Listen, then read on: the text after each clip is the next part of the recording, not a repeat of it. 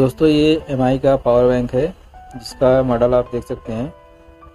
और ये इसका मॉडल है M I power bank two I दस हज़ार एम तो दोस्तों, इसमें प्रॉब्लम क्या है कि इसमें हम चार्जिंग लगा रहे हैं तो कुछ भी रिस्पॉन्स नहीं दे रहा है।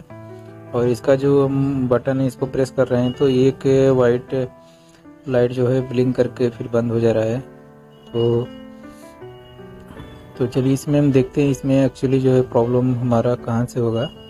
तो इसमें हम चार्जिंग पिन को लगाए हैं और इसका चलिए इसका हम इनपुट पहले वोल्टेज चेक करते हैं कि हमको इसमें इनपुट वोल्टेज मिल पा रहा है कि नहीं मिल पा रहा है। तो अभी हम क्या करेंगे मल्टीमीटर को बजर तो voltage range twenty K M range पर रख के इसका जो है चेक करेंगे। कि इसमें हमको प्रॉपरली कितना वोल्टेज मिल पा रहा है? तो आप देख सकते हैं यहाँ पे ब्लैक क्रॉस को मैंने ग्राउंड किया और रेड वाले को मैंने टच किया। देखिए, यहाँ पे कोई भी वोल्टेज शो नहीं हो रहा है। और वोल्टेज इसके चार्जिंग पिन के इनपुट पॉइंट पर शो कर रहा है, जो कि आपको यहाँ पे अभी हम दिखाते हैं ऊपर। यहाँ पे हमको सप्लाई वोल्टेज मिलना चाहिए, लेकिन यहाँ पे वोल्टेज नहीं मिल रहा है। और जो एक्चुअली वोल्टेज इसका मिल रहा है, हमको चार्जिंग पिन पर मिल रहा है।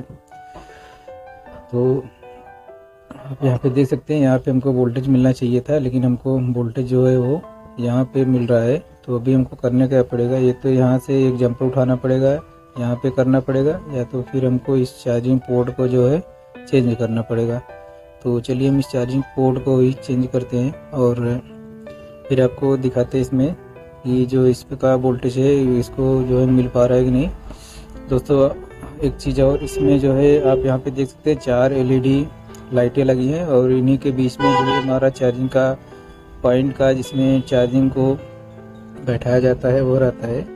तो इसको बहुत ही केयरफुल तरीके से आपको रिपेयर करना है। अगर आपको उसका वीडियो चाहिए तो आप वो कमेंट करिए, उसका हम वीडियो बनाने की कोशिश करेंगे कि किस तरीके से, बहुत ही ईजिली तरीके से लगाएँगे। तो यहाँ पे आप देख सकते हैं, ये जो हमारा चार्जिंग पिन था इसमें, नया वाला, इसको हमने बहुत ही आसानी से जो इसमें सेट कर दिया और कोई भी प्रॉब्लम नहीं आया। तो चलिए अभी हम इसका जो है बैटरी, जो इसमें बैटरी का पॉइंट है, इसको हम जोड़ते हैं प्लस माइनस को।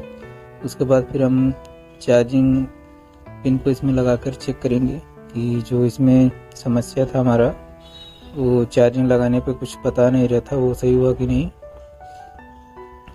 और वीडियो में लास्ट तक बने रहिए। अगर दोस्तों आपका इसका ये पावर बैंक का अगर आपको खोलने का वीडियो चाहिए डिसम्बल का तो उसके लिए आपको यहाँ पे नीचे जो है कमेंट बॉक्स के लाइन पे मिल जाएगा।